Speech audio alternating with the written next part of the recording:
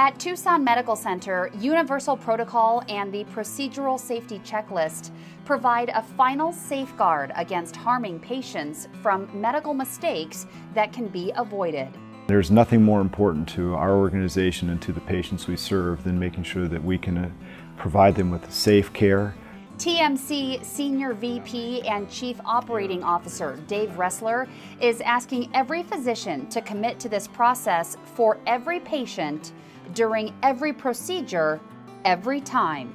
This is just about hardwiring and it's about consistency and, and having a dependable process that we all follow. These are complicated systems that we work in, we work quickly, and um, redundancy is important to prevent mistakes. We need to have checks and balances to make sure that we don't make mistakes. Pima heart cardiologist Dr. Pete Spooner demonstrates what the checklist realistically looks like.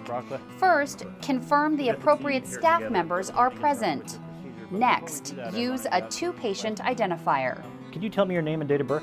Uh, Gary Brockla, 81544. Okay, and we're just going to confirm your medical record number here, Diane. And our policy is that we check the medical record number uh, and the patient name. And in the event that we are uh, confirming with the patient, they frequently don't know their medical record number, and so we ask for their name and date of birth. Well, in the case of children uh, or babies that are not able to communicate, um, they don't know. So in those cases, it's really important that we utilize the paperwork and their ID band to make sure that we have the right patient.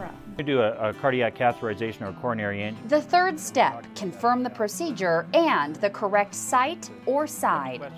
Make sure the necessary equipment is ready to go.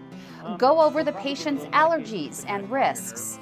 And perhaps most importantly, take a timeout.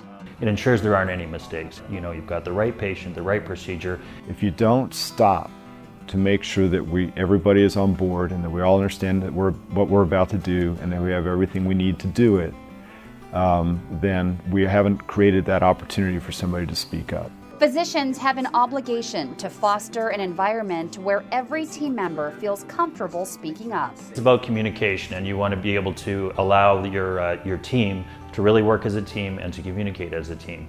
And uh, so it's important to engage them and for them to be part of the process. As Dr. Spooner demonstrated, the entire process takes just seconds to do correctly. The time that you're going to spend if there's a mistake is uh, way outweighs any any little bit of time that you need to do the uh, do the timeout. We all recognize that there are times when we're hurried, that there's a uh, emergency or urgent uh, urgency to a procedure or, or a surgery that we are about to perform.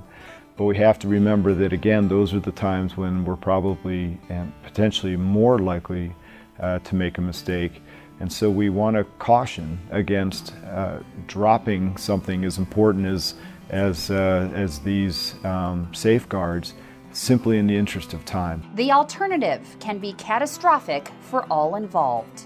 I think once you've been through an experience like that or had a close call in an experience like that where you've caught uh, the mistake before it happens by utilizing the universal protocol or the, or the timeout, um, that's when you create the believers. That kind of mistake would have mistake would have uh, you know huge emotional consequences and professional consequences too. I mean these things are things that will follow you throughout the rest of your career if there is a mistake like that. So while some physicians' perception might be that the risk of that happening isn't very high, the consequences are profound. As a physician, both emotionally and professionally and potentially even financially, a mistake can just be catastrophic. So it's not worth it. We do a timeout every single time to make sure that we're doing the right procedure on the right patient.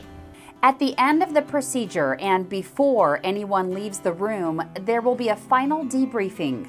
This includes confirmation of the procedure that was performed, checking the labeling on all specimens for accuracy, including reading the patient's name and specimen out loud, identifying any equipment concerns and correcting them before the next case, and finally, addressing any key concerns for post procedure care and planning for a safe handoff.